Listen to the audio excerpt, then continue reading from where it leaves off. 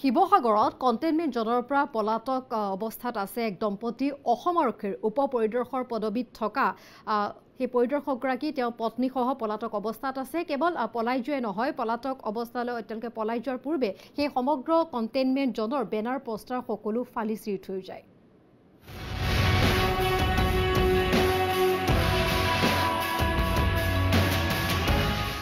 শিৱসাগৰ চহৰৰ মাজমজিয়াৰ এক মাইক্ৰ' কণ্টেইনমেণ্ট জন।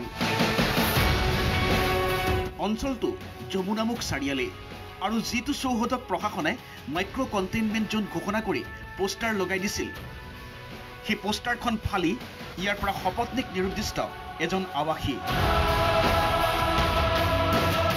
আৰু শুনি হয়তো আপুনি আচৰিত হ'ব কভিড বিধি ভৰিৰে মোহাৰি এই মাইক্ৰ' কণ্টেইনমেণ্ট জ'নৰ পৰা যিজন ব্যক্তিয়ে নিজৰ পত্নীক লৈ পলায়ন কৰিছে তেওঁ নিজে এজন আৰক্ষী বিষয়া। নাম গীতাৰ্থ চৌধুৰী। শিৱসাগৰ সদৰ থানাৰ উপ পৰিদৰ্শক এওঁ। যি সময়ত কভিড বিধি উলংঘনৰ সামান্য অজুহাততেই ৰাজ্যৰ বহু অঞ্চলত আৰক্ষী প্ৰশাসনে সৰ্বসাধাৰণক মাৰি পিটি নিৰ্যাতন চলাইছে সেই সময়তে কভিড বিধি ভৰিৰে মোহাৰি পলাতক শিৱসাগৰ সদৰ থানাৰ এইজন উপ পৰিদৰ্শক লগত লৈ গৈছে পত্নীকো যোৱা ত্ৰিছ মে'ৰ দিনা আৰক্ষী বিষয়াজনৰ পত্নী জয়শ্ৰী দাস কভিড পজিটিভ ৰূপে চিনাক্ত হৈছিল। তাৰ পিছতেই কেইবাটাও পৰিয়াল ভাড়াতীয়া ৰূপে বাস কৰা এই চৌহদটো মাইক্ৰ' কণ্টেইনমেণ্ট জন ঘোষণা কৰিছিল প্ৰশাসনে। আমি স্বাস্থ্য বিভাগৰ লগত কথা পাতি তেওঁক হস্পিটেলত থকাৰ ব্যৱস্থা কৰি দিছিলোঁ ক'ভিড কেয়াৰ চেণ্টাৰত থকাৰ। তাৰপিছত ক'ভিড কেয়াৰ চেণ্টাৰত থকাৰ পিছত এইটো কণ্টেইনমেণ্ট জ'ন কৰি দিয়া হৈছিল মাইক্ৰ' কণ্টেইনমেণ্ট জ'ন কিন্তু এতিয়া হঠাৎ আজি ৰাতিপুৱা গম পাইছোঁ যে এইটো মাইক্ৰ' কণ্টেইনমেণ্ট জ'নৰ বৰ্ডখন তেখেতে ফালি পেলাই তেওঁ মিছেছক লৈ ওলাই গুচি গৈছে। ঘৰৰ মালিকে জনোৱা মতে তেৰ জুনলৈ চৌহদটো কণ্টেইনমেণ্ট জন ঘোষণা কৰা হৈছিল। কিন্তু সেই সময়সীমালৈ দুদিন বাকী থকা অৱস্থাতে ধৈৰ্যচ্যুতি ঘটিল আৰক্ষী বিষয়াজনৰ।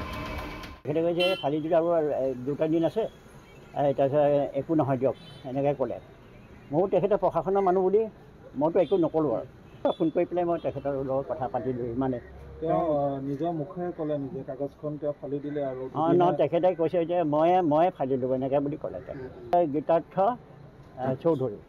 তেখেতে চাকৰি কৰে মানে পুলিচ ডিপাৰ্টমেণ্টৰ চাব ইনস্পেক্টৰ।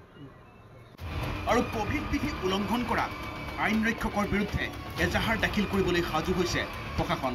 মোক এনকুৱাৰী কৰিব দিছে মই এনকুৱাৰী কৰি এতিয়া ছাৰক মোৰ চাৰ্কল অফিচাৰ ছাৰক মই ৰিপৰ্ট কৰিম। ৰিপৰ্ট কৰি ডি ডি এম এ ফালৰ পৰা আইনৰ অধীনত তেওঁৰ এগেইনষ্টত মানে গোচৰ এজাহাৰ দাখিল কৰিব ডি ডি এম এ আইনৰ অধীনত। জানিব পৰা মতে শিৱসাগৰ সদৰ থানাৰ আৰক্ষী উপ পৰিদৰ্শক গীতাৰ্থ চৌধুৰীয়ে ইয়াৰ পূৰ্বতেও একাধিকবাৰ লিপ্ত হৈছে আইন উলংঘা কৰাৰ কাৰ্যৰ সৈতে। কেমেৰা পাৰ্চন শশাংকৰ সৈতে শিৱসাগৰৰ পৰা Kaustav Moni Kakati N D twenty four.